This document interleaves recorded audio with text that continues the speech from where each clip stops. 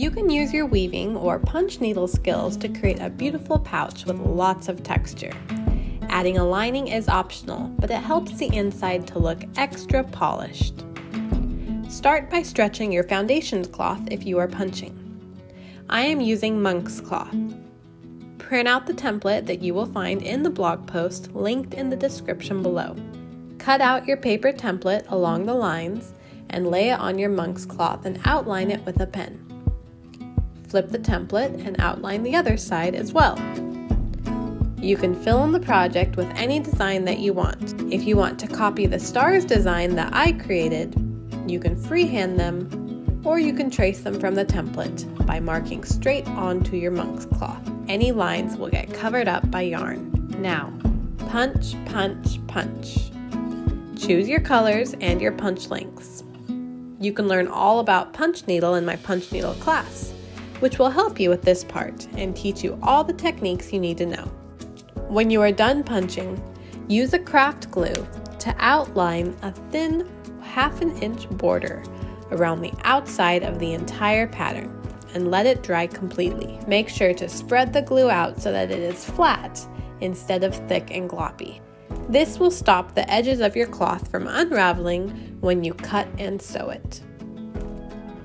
Cut out your project along the edge of the glue border. You can see now that one side is flat and one side is bumpy. You can choose which side to use as the front of your pouch, but the bumpy side is more durable. You can use any fabric for lining. I am using a velvet. Trace the same template onto the lining and cut a half inch border around the outline. Get a 14 inch zipper and some sewing pins. Mark the center of each end of the punch design, the center of the zipper, and the center of the lining. Place the punch design face up and the zipper face down, lining the center points. Pin them together.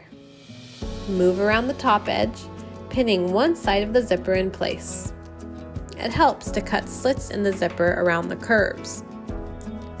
Open your zipper and remove one side if you are able so that it's easier to sew. My zipper is stuck together, so I'm going to leave one side hanging. You can sew the lining at the same time or sew just the zipper first and then add the lining. For this side, that is what I'm doing, one after the other.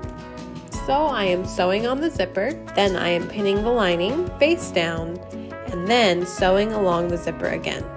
On the other side, however, I do them all at the same time, and I end up preferring that, so you can sew them all together instead of one after the other if you want. Pin the center of the other side of the punch design to the center of the zipper and the center of the lining.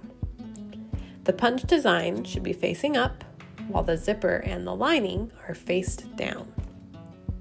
If your zipper comes apart, it is easier to sew this.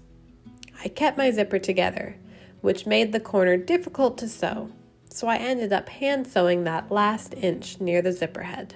When both sides are sewn together, Pull the project inside out through an opening on the edge.